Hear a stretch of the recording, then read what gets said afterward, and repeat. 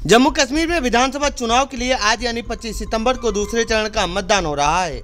इस चरण में कई दिग्गजों की किस्मत दाव पर लगी हुई है। इस चरण में 26 सीटों पर वोट डाले जा रहे हैं, जिसमें से दो सौ उनतालीस उम्मीदवार चुनावी मैदान में ताल ठोक रहे हैं। इनमें पूर्व मुख्यमंत्री उमर अब्दुल्ला जम्मू कश्मीर कांग्रेस कमेटी के अध्यक्ष तारिक हामिद कर्रा और बीजेपी के वरिष्ठ नेता रविंद्र रैना पर हर किसी की नज़र टिकी है।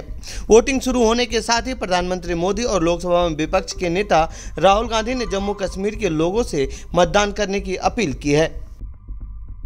प्रधानमंत्री ने वोटरों से क्या अपील की? प्रधानमंत्री नरेंद्र मोदी ने सोशल मीडिया साइट एक्स पर पोस्ट कर कहा है कि जम्मू कश्मीर में आज विधानसभा चुनाव के दूसरे दौर की वोटिंग है। सभी वोटर से मेरी अपील है कि अपना वोट ज़रूर दें और लोकतंत्र को मज़बूत बनाने में अपनी अहम भूमिका निभाएँ। इस अवसर पर पहली बार वोट डालने जा रहे सभी युवा साथियों को मेरा अभिनंदन। क्या बोले राहुल गांधी? जम्मू कश्मीर में चुनाव को लेकर राहुल गांधी ने एक्स पर पोस्ट कर कहा है कि जम्मू कश्मीर के मेरे भाइयों और बहनों, आज दूसरे चरण का मतदान है।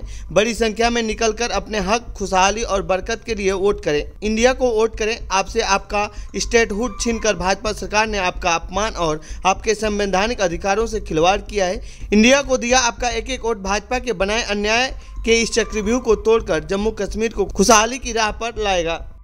देखिए सबसे पहले आज लोकतंत्र का सबसे बड़ा पर्व सबसे बड़ा फेस्टिवल जिसमें लोग 10 साल के बाद अपने मतदान का उपयोग कर रहे हैं।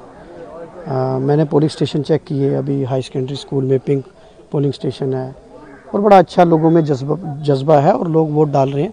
मैं लोगों से अपील करता हूँ कि लोग ज़्यादा से ज़्यादा तादाद में मतदान करें अपने मतदान का सही उपयोग करें और फैसला करें क्योंकि लोग ही सर्वोपरि हैं। विकास के लिए वोट डालें।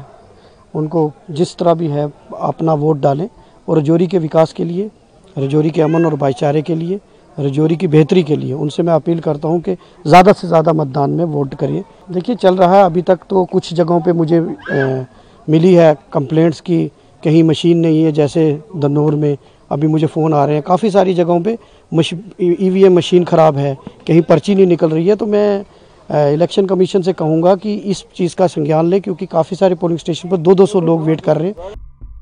तो ये थी जम्मू कश्मीर से जुड़ी हमारी रिपोर्ट आपको कैसी लगी ये रिपोर्ट कमेंट बॉक्स में बताएँ। साथ ही इस पूरे मामले पर आप क्या कहना चाहते हैं कमेंट बॉक्स में लिखें।